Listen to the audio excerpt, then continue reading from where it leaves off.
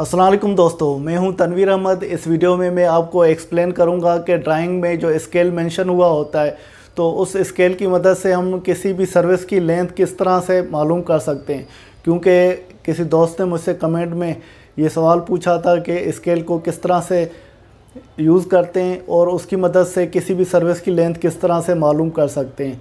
तो आइए इस वीडियो की मदद से हम स्केल को ड्राइंग में अप्लाई करते हैं और उसको प्रैक्टिकली चेक करते हैं। तो किसी भी सर्विस की लेंथ मालूम करनी है या हमें क्वांटिटी किसी भी सर्विस की निकालनी है तो उस हिसाब से लेंथ बड़ा इंपॉर्टेंट रोल अदा करती है।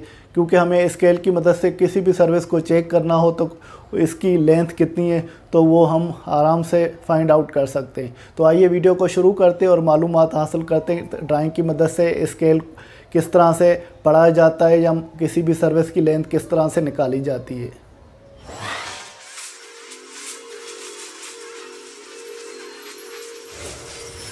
दोस्तों, ये एच की ड्राइंग है। इसकी मदद से हम स्केल को समझेंगे। ये सामने हमारा स्केल भी पड़ा हुआ है और कैलकुलेटर भी पड़ा हुआ है। तो हम ड्राइंग का स्केल किस तरह से रीड किया जाता है, उसको समझने के लिए सबसे पहले जो ड्राइंगों में ग्रिड होती है, जैसे ये आपको नज़र आ रही है डी ई एफ़ तो ग्रिड के बीच में डिस्टेंस कितना है, वो स्केल से चेक किया जाता है।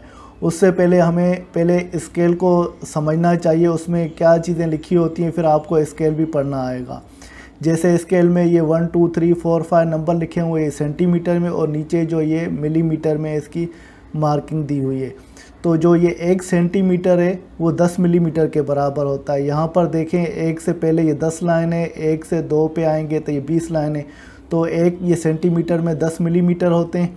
जैसे आप काउंट करें one two three four five six seven eight nine ten और दो सेंटीमीटर बीस, तीन सेंटीमीटर तीस मिलीमीटर चार सेंटीमीटर चार फोर्टी मिलीमीटर इसी तरह जैसे सात होगा तो वो सत्तर मिलीमीटर हो जाएगा। तो इस तरह से ये स्केल जो हम पूरा आप करेंगे तो इसको थर्टी फाइव सेंटीमीटर का मतलब है, साढ़े तीन सौ ये मिलीमीटर होते हैं। तो अभी यहाँ पर जैसे ये कैलकुलेटर है और इसकी मदद से हम इसको समझेंगे। उससे पहले ड्राइंग में हम देखते हैं तो वो कौन कौन से स्केल होते हैं। जैसे यहाँ पर देखें ये वन रेशो टू हंड्रेड तो एक मिलीमीटर 200 मिलीमीटर के बराबर है। तो दूसरी ड्राइंग में देखते हैं तो हर कोई ड्राइंग में फ़र्क होता है। जैसे ये ड्राइंग है, इसमें one ratio one twenty five इसका मतलब है एक मिलीमीटर जो है, एक सौ पच्चीस मिलीमीटर के बराबर है। और ये तीसरी ड्राइंग है, इसमें देखते हैं वन रेशो टू हंड्रेड एक मिलीमीटर, दो सौ मिलीमीटर के। और इस ड्राइंग में one ratio one twenty five तो एक मिलीमीटर, एक सौ पच्चीस मिलीमीटर के बराबर है। इस तरह आप ड्राइंगें देखते जाएँगे और जैसे फ़र्क मुख्तलिफ़ ड्राइंगों में ये स्केल चेंज होता है और फिर इस स्केल को आप फॉलो करते हुए ड्राइंग में जो भी आपको मयरमेंट चेक करनी है या कोई भी लेंथ आपको मालूम करनी है तो फिर यही जो स्केल मेंशन हुआ है, जैसे एक एक सौ पच्चीस है तो एक मिलीमीटर एक सौ पच्चीस के बराबर होगा, यहाँ पर जो एक एक सौ का बराबर है, या ये वन सेवेंटी फाइव के बराबर है। एन टी एस का मतलब है नाट टू स्केल तो स्केल पे कोई ड्राइंग नहीं होती है तो वो है। और यहाँ पर देखें स्केल दिया हुआ है, दूसरी ड्राइंग में भी स्केल दिया हुआ है। इस ड्राइंग में भी स्केल दिया हुआ है। ये मुख्तलिफ़ एग्ज़ाम्पल है। तो अभी यहाँ पर देखें, ये scale one into two hundred इसका मतलब है एक जो मिलीमीटर है 200 के बराबर होगा। जैसे यहाँ पर देखें, ये एक सेंटीमीटर में 10 मिलीमीटर है, कोई भी एक मिलीमीटर की डायमेंशन आएगी तो वो 200 के बराबर होगी। 200 का मतलब 200 मिलीमीटर के बराबर होगी।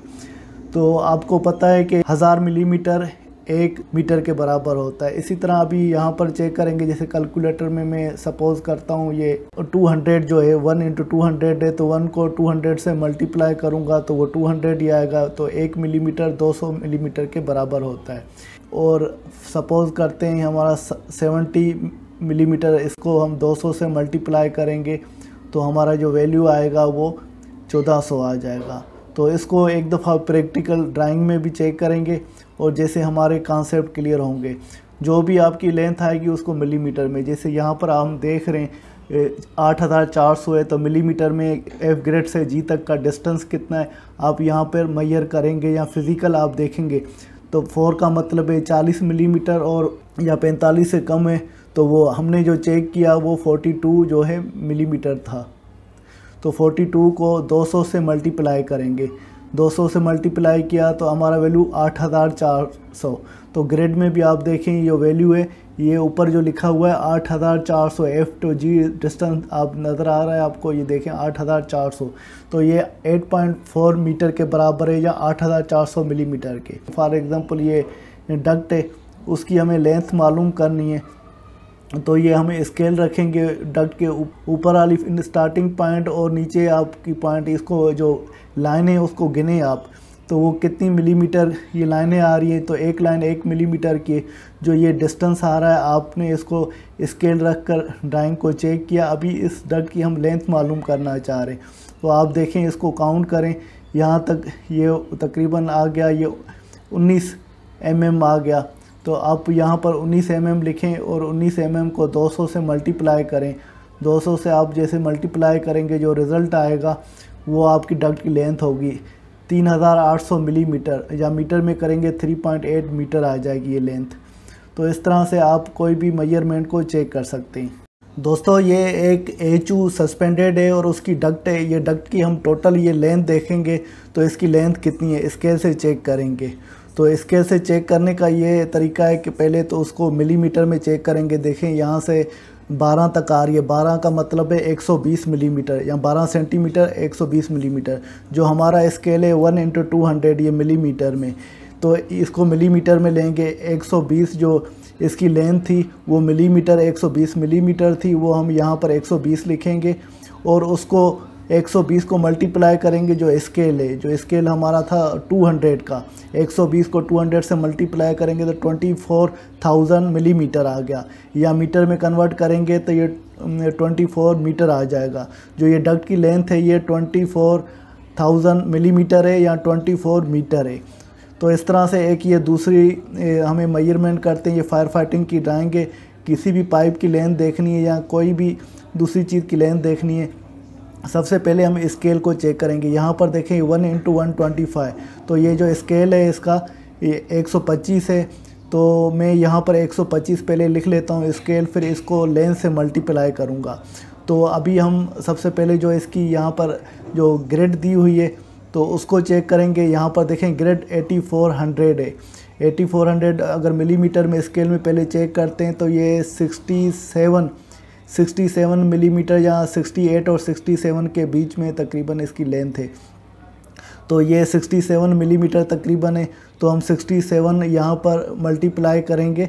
तो जो स्केल है इसका 67 लिखते हैं और उसको मल्टीप्लाई करते हैं। स्केल से 125 से तो हमारा जवाब आया 8375 8375 मगर यहाँ पर कोई डिफरेंस है इस वजह से जो ये एफ़ के पास जो लाइन है और रीडिंग आ रही थी, दोनों लाइनों के बीच में आ रही थी। इस वजह से ये मामूली सा डिफरेंस आ रहा है। अगर एक्यूरेट आप लेंथ लेंगे तो आपकी वही स्केल जो है, जो स्केल के हिसाब से प्रॉपर लेंथ आएगी। अगर आपने स्केल से ग्रेड चेक कर ली, फिर इसके बाद कोई भी सर्विस चेक करनी है तो कोई मसला नहीं होगा। ये दूसरी एक ड्राइंग है वन इंटू हंड्रेड की स्केल की। इसको हम चेक कर लेते हैं। यहाँ पर मैंने ये स्केल लिखा हुआ है और ड्राइंग में जाते हैं, ऊपर ग्रिड को मैं चेक करता हूँ, ये एम से एन तक इसकी लेंथ चेक करते हैं। तो तकरीबन इसकी जो लेंथ है मिलीमीटर में तो 80 84 मिलीमीटर आ जाती है।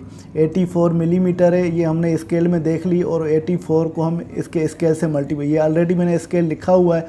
इसको 84 से मल्टीप्लाई करूँगा तो वो 8400 इसकी मिलीमीटर में इसके डायमेंशन आ गई, लेंथ आ गई। हमें पता चल गया तो स्केल इसका सही है। तो फिर ड्राइंग में कोई भी पाइप की हमें लेंथ चेक करनी है, कोई सिविल की सर्विस की लेंथ चेक करनी है, या दीवार की लेंथ चेक करनी है, किसी भी सर्विस की लेंथ चेक करनी है तो इस स्केल की मदद से हम चेक कर सकते हैं। दोस्तों, उम्मीद है कि ये जो स्केल की ड्राइंग थी, इसमें, इसकी मदद से आप स्केल को रीड करना या पढ़ना समझ गए होंगे। कोई भी ड्राइंग आपको मिली हुई है, उसका स्केल किस तरह से चेक किया जाता है, निकाला जाता है, और उसके बाद ड्राइंग में किसी भी सर्विस की लेंथ चेक करनी है स्केल की मदद से तो आप, उम्मीद है कि चेक, अपनी मदद आप कर सकते हैं। इसके साथ तनवीर अहमद को इजाज़त दीजिए अगली वीडियो तक। अल्लाह हाफिज़।